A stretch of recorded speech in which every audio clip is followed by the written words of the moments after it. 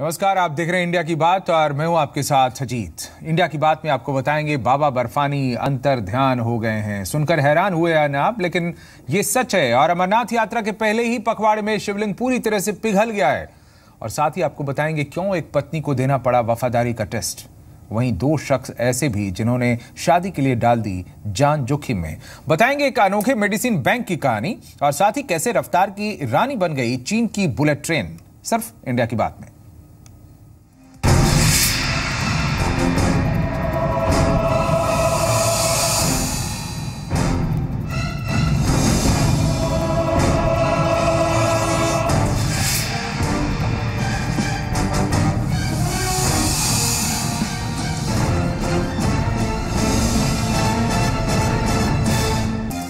भगवान भोलेनाथ की पवित्र अमरनाथ यात्रा पर सुरक्षा के लिहाज से संकट पहले से ही मंडरा रहा है और इस बीच बाबा के भक्तों के लिए एक और मुश्किल खड़ी हो गई है। क्योंकि बाबा बर्फानी का शिवलिंग यात्रा शुरू होने के महज तेरह दिनों के भीतर ही पूरी तरह से पिघल गया है।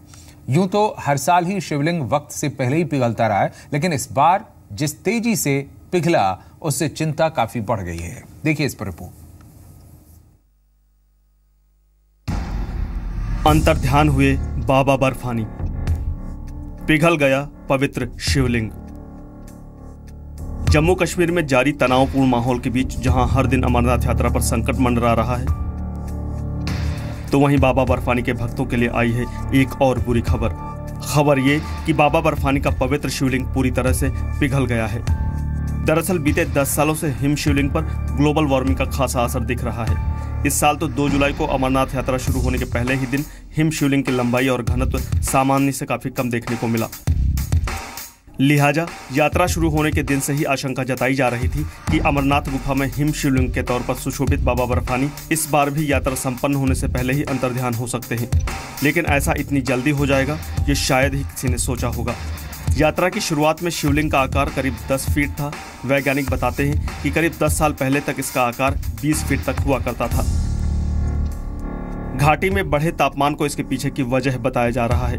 साथ ही पवित्र गुफा के आसपास का वातावरण भी इसे प्रभावित कर रहा है। वहीं इस साल कश्मीर घाटी में बारिश और बर्फ़ भी कम पड़ी है। साफ़ है कि 17 अगस्त को श्रावणी पूर्णिमा, रक्षाबंधन पर यात्रा की समाप्ति के वक्त हिम शिवलिंग पवित्र गुफा में शोभायमान नहीं होगा। बीते साल भी यात्रा खत्म होने से करीब पंद्रह दिन पूर्व ही बाबा बर्फानी अंतर ध्यान हो गए थे। ऐसा पहली बार हुआ है, जबकि शिवलिंग पवित्र यात्रा शुरू होने के पंद्रह दिनों के भीतर ही पिघल गया।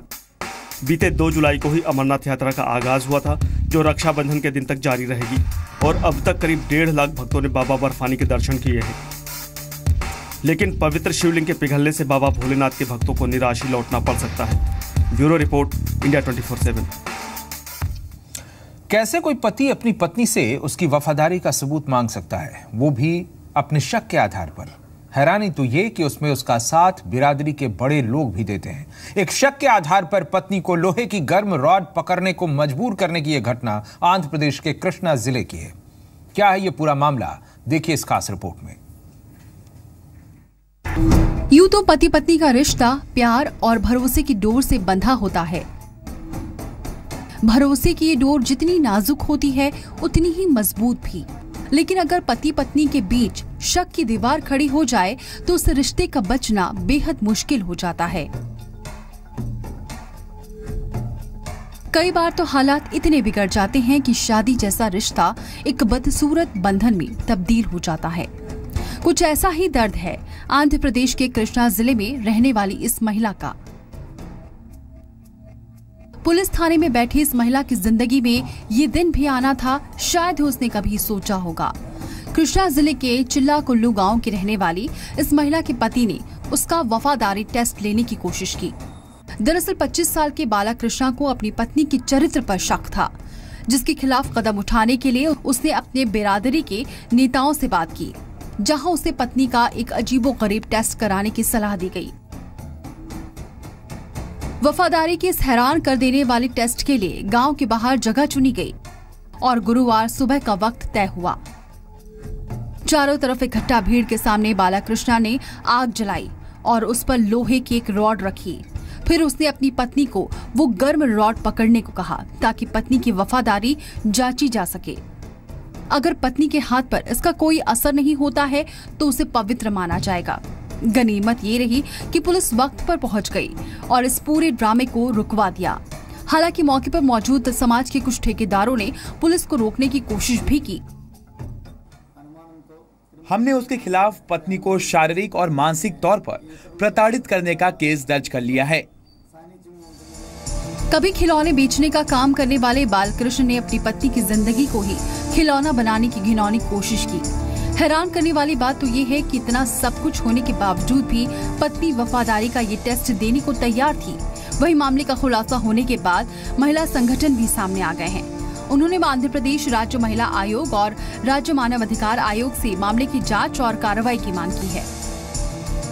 फ़िलहाल पुलिस ने आरोपी पति को हिरासत में ले लिया है, लेकिन सवाल समाज के दरकते ताने बाने पर भी है, जिसके आपसी विश्वास और भरोसे की डोर इतनी कमज़ोर हो चुकी है। कृष्णा से प्रसाद भोसीकर के साथ bureau report, India twenty seven. जहाँ सामाजिक ताने को लेकर तो सोचना ज़रूर पड़ेगा। आपने देखा, एक तरफ़ पति का पत्नी पर भरोसा नहीं है। तो आपको दिखाते हैं दूसरी तरफ़, मध्य प्रदेश के टीकमगढ़ से हैरान कर देने वाली कुछ तस्वीरें, जहाँ पत्नी के लिए दो दुल्हों ने अपनी जान जोखिम में डाल दी और उफंती नदी पार करके ले गए अपनी बारात। देखिए तस्वीरें। दूल्हा नंबर वन, दूल्हा नंबर टू। न मौसम की फ़िक्र, न जान की परवाह। जरा ध्यान से देखिए, शादी की चाह किसी को कहाँ तक ले जा सकती है।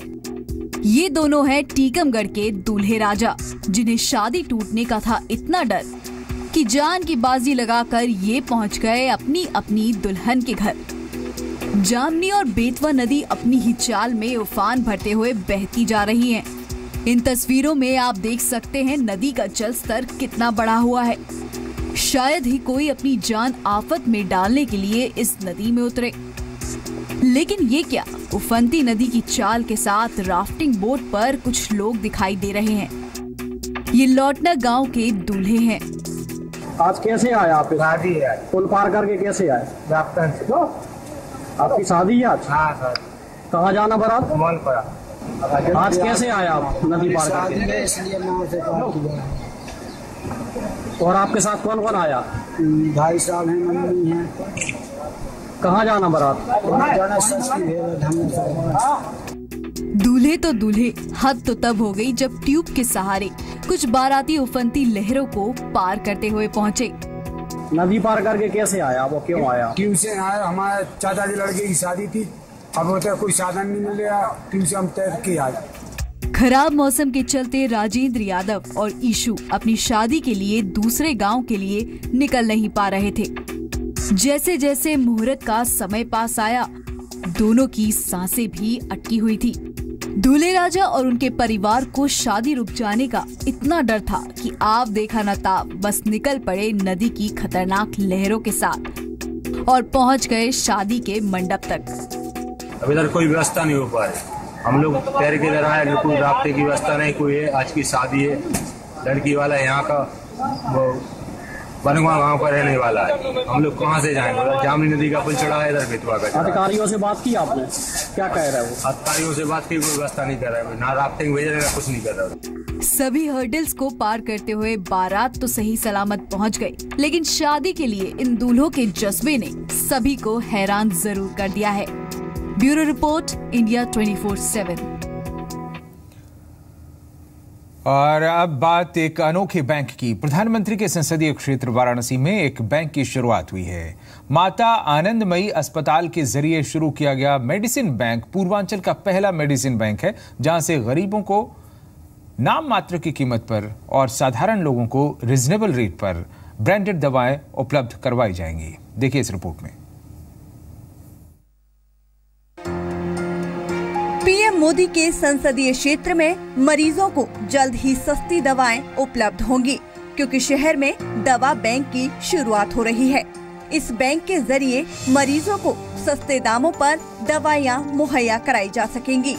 माता आनंदमयी अस्पताल के ज़रिए शुरू किया गया ये बैंक पूर्वांचल का पहला औषधीय बैंक है। यहाँ जेनरिक दवाओं के अलावा हर ब्रांड की दवा मरीजों को मिल जाएगी। जन औषधि केंद्र जो है, वो एसेंशियल मेडिसिन पे डील करते हैं और जेनेरिक वर्जन पे काम करते हैं। जो ब्रांडेड मेडिसिन है, वो भी हम लोग अब डायरेक्टली कंपनी से लेने की कोशिश कर रहे हैं ताकि कम से कम पैसे में लोगों को उपलब्ध हो। आज देखा गया है कि हर मरीज़ के यदि स्वास्थ्य का जो खर्चा है उसमें 80 प्रतिशत जो कॉस्ट है, वो दवाई का है। तो हम लोग ये चाहते हैं कि जो 80 प्रतिशत जो कॉस्ट है, उसको हम लोग कैसे कम कर सकें? इस बैंक का लक्ष्य महँगी दवाइयों को जरूरतमंद लोगों तक पहुंचाना है, ताकि सबके लिए स्वास्थ्य की मुहिम को सफल बनाया जा सके।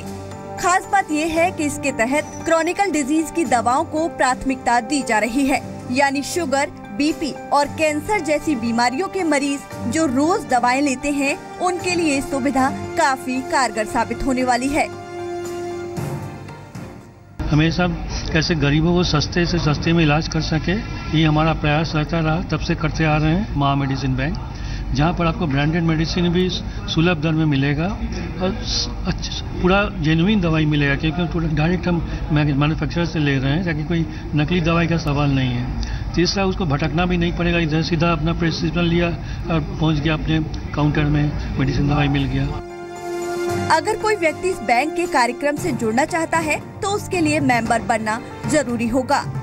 सिर्फ़ पचास रूपए की सदस्यता शुल्क देकर बैंक का मेंबर बना जा सकता है।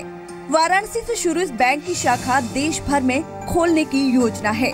माता आनंदमयी अस्पताल, इससे पहले भी कई तरह की सेवाएँ समाज को दे चुका है। अस्पताल प्रशासन राज्य सरकार को भी इस मुहिम से जोड़ने की कोशिश में है, ताकि ज़्यादा से ज़्यादा लोग इस सुविधा से जुड़ सकें। वाराणसी से अमित सिंह के साथ ब्यूरो रिपोर्ट, इंडिया 24/7 और इंडिया की बात में अब बात करेंगे एक ऐसी ट्रेन की जो एरोप्लेन की रफ्तार से दौड़ी। चीन के हिंगजू में 420 किलोमीटर प्रति घंटे की रफ्तार से चलने वाली ट्रेन का ट्रायल किया गया और सफल ट्रायल के बाद चीन ने एक बार फिर इतिहास रच दिया। एक तरफ़ भारत में अभी भी 180 किलोमीटर की स्पीड से चलने वाली टेलगो ट्रेन का शुरुआती ट्रायल चल रहा है, जबकि वहीं पड़ोसी चीन ट्रेन की रफ्तार को 420 किलोमीटर तक पहुँचा चुका है।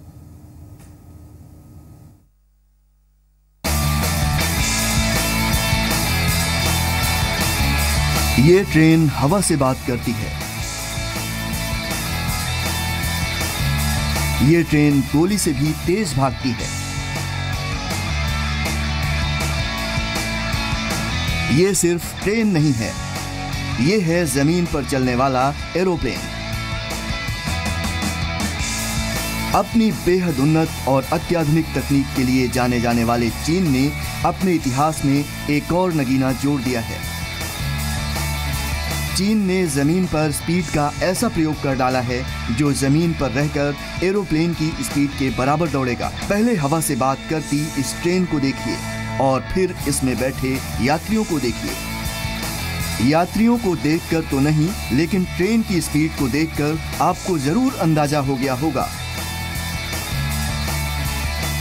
ये ट्रेन नहीं है, बल्कि ये है सुपर ट्रेन इसकी स्पीड सुनकर आपके होश उड़ जाएँगे. इस सुपर ट्रेन की स्पीड है 420 किलोमीटर प्रति घंटा.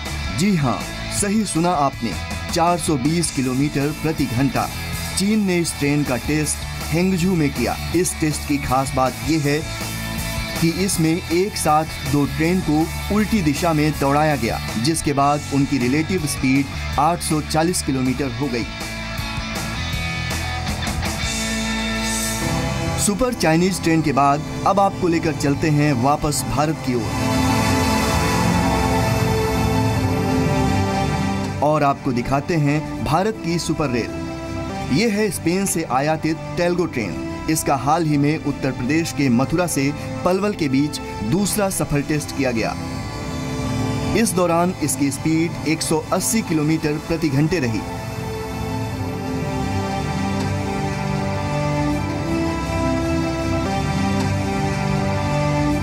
टेलगो ट्रेन के तीन में से दो ट्रायल हो चुके हैं। पहला ट्रायल बरेली में 29 मई को हुआ, दूसरा ट्रायल मथुरा पलवल के बीच किया गया। जबकि तीसरा और आखिरी ट्रायल दिल्ली और मुंबई के बीच अगस्त में होना है। तीसरे ट्रायल तक ट्रेन की स्पीड 250 किलोमीटर प्रति घंटे तक बढ़ाई जाएगी। साफ़ है कि चीन आज भी भारत से तकनीक के मामले में कहीं आगे है। भारत के मुकाबले चीन ने अब तक विश्व का सबसे लंबा सुपर फास्ट नेटवर्क बना लिया है। 2020 तक उसका इरादा 16,000 kilometre super fast railway line बना लेने का है। चीनी इंजीनियर रेलगाड़ियों की स्पीड बढ़ाने पर भी लगातार काम कर रहे हैं। भविष्य में रेलगाड़ियाँ 500 किलोमीटर प्रति घंटे की रफ्तार से चलेंगी। इस स्पीड को पकड़ने में भारतीय रेल को 2024 या फिर उससे ज़्यादा समय तक इंतज़ार करना पड़ सकता है। Bureau report, India 24/7